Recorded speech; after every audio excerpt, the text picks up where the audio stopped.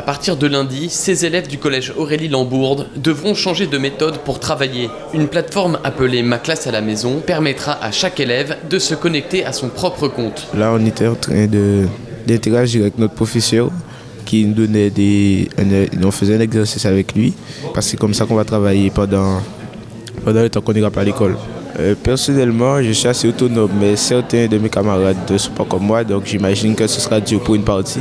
Ce service de classe virtuelle mis en place par l'Académie de Guadeloupe va maintenir le lien entre l'élève, ses camarades et ses professeurs. Il sera accessible aux élèves de la grande section jusqu'à la terminale. On va continuer à travailler, on travaillera autrement.